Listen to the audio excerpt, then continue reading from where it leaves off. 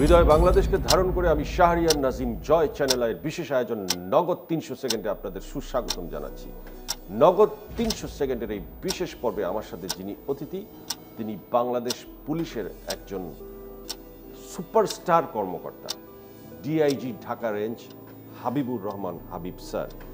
তৃতীয় লিঙ্গকে আপনি এমনভাবে তাদের পাশে দাঁড়িয়েছেন এবং তাদেরকে গত কয়েক বছর ধরে এমনভাবে আপনি দেখাশোনা করছেন, যেটা আসলে একটু মানুষের বিবেককে, মনকে অন্যভাবে নাড়া দিয়েছে।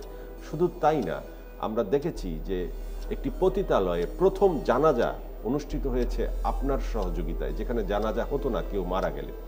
আপনি এই গোষ্ঠীটার পাশে এই সময়, করোনাকালীন সময় কীভাবে দাঁড়িয়েছেন এবং আপনার ভাবনা জগতে তাদেরকে নিয়ে কি কি ভাবনা আছে? হিজড়া সম্প্রদায়ের লোকজন রয়েছে, তারাও কিন্তু আপনার আমার মতো একজন মানুষ। কিন্তু সোসাইটিতে, সমাজে কিন্তু তাদের কোনো গ্রহণযোগ্যতা নেই। তাদের জীবিকার প্রধানই হলো মানুষের কাছে হাত পাতা।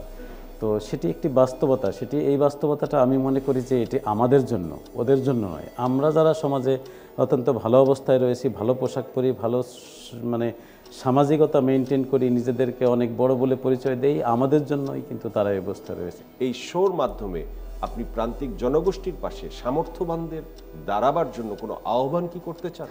যারা সামর্থ্যবান, যারা সচেতন এবং যাদের কিছু অন্তত করার ক্ষমতা আছে, যার কিছু টাকা দিয়ে করার ক্ষমতা নাই, তার আমি মনে করি যে কিছু বুদ্ধি দিয়ে, পরামর্শ দিয়ে করার ক্ষমতা আছে, তাকে একটি কাজে সহযোগিতার করার ক্ষমতা আছে। যদি তাও না থাকে, এই যে একটি পিছিয়ে পড়া মানুষ সমাজ যাকে খারাপভাবে দেখছে, তার সাথে একটু ভালো আচরণ অন্তত কিন্তু সবাই আমরা করতে পারি। তার জন্য কিন্তু আমার কোনো অ্যাবিলিটি থাকা দরকার হয় না।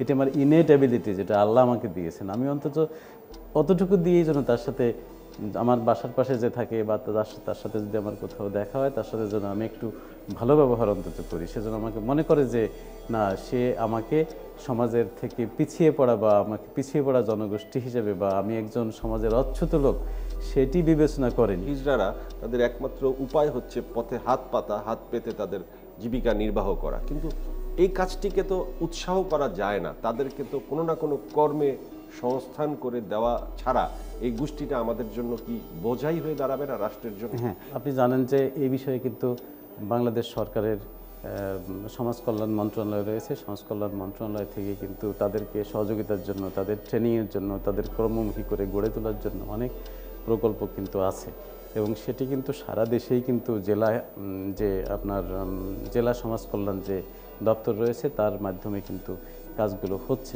সরকার কিন্তু তাদের ভোটাধিকার দিয়েছে। এবার কিন্তু তারা ভোটাধিকার আপনারা জানেন যে পেয়েছে। হিজড়া হিসেবেই তারা ভোটাধিকার পাবে এবং নির্বাচন কমিশন কিন্তু যদি তাদের পেয়ে থাকে তাহলে ল্যাবরেটরির পৃথকীকরণের জায়গাও তাদের পাওয়া উচিত। হ্যাঁ সেটি পাওয়া উচিত এবং আপনি জানেন যে তারা একটা ব্যাংকে তারা অ্যাকাউন্ট করতে যাবে, সেটি তারা পারে না। তারা পুরুষ, স্ত্রী একটা ঘর আছে, সেটি তারা কোথায়, সেখানে কি লিখবে সেটি পারে না। তো এটি কিন্তু সরকার, আমি মনে করি যে ইতিমধ্যে নির্বাচন কমিশন যেটি করেছে, তাদের হিজড়া হিসাবে কিন্তু ভোটার তালিকায় অন্তর্ভুক্ত করেছে। তো সেই ক্ষেত্রে সরকারের বা অন্যান্য সকল সংস্থার যে সমস্ত ফর্ম আছে, সেই ফর্মগুলো কিন্তু কারেকশনের একটি বিষয় এসে দাঁড়িয়েছে। সেখানে স্ত্রী, পুরুষ বা নারী, পুরুষ এবং পাশে একটি অন্যান্য বা হিজড়া এরকম কোনো একটি ঘর করার প্রয়োজনীয়তা কিন্তু ইতিমধ্যেই দেখা দিয়েছে এবং সেগুলি সবাই করা উচিত। বাংলাদেশ পুলিশ এই সময় ভিন্নভাবে আমাদের সামনে উপস্থাপিত হয়েছে এবং আমরা পুলিশকে সাধুবাদ জানাচ্ছি। কিন্তু তারপরেও বলি, কিছু অসাধু পুলিশ তো এখনও আছে। যদি কারও ভিতরে কোনো অসাধু বিষয় থেকেও থাকে আজকের এই শোতে, এই ক্রান্তি লগ্নে আপনি কি তাদের উদ্দেশ্যে কিছু বলবেন, স্যার? আমি অবশ্যই বলব, বাংলাদেশ পুলিশ বাংলাদেশের মানুষের মনের মণিকোঠায় যেভাবে স্থান করে নিয়েছে, সেটিকে মাথায় রেখে তার অতীত ত্রুটিগুলো সে নিজে বিবেচনা করে সে অবশ্যই সেটি থেকে ফিরে আসবে। এবং পাশাপাশি আমাদের যে সাংগঠনিক যে নিয়মকানুন রয়েছে, সেইভাবে যে কোনো ধরনের ব্যত্যয় পরিলক্ষিত হলে, যে কোনো ধরনের আইন শৃঙ্খলা বিরুদ্ধ কোনো কাজ পরিলক্ষিত হলে, বিধিবিধান বিরুদ্ধ কোনো কিছু পরিলক্ষিত হলে এবং জনহিতকর নয়, এরকম কোনো কিছু কাজের সাথে পুলিশকে কোথাও দেখা গেলে তার জন্য এবং তদন্ত সাপেক্ষে তার বিরুদ্ধে যথাযোগ্য ব্যবস্থাও অবশ্যই নেওয়া।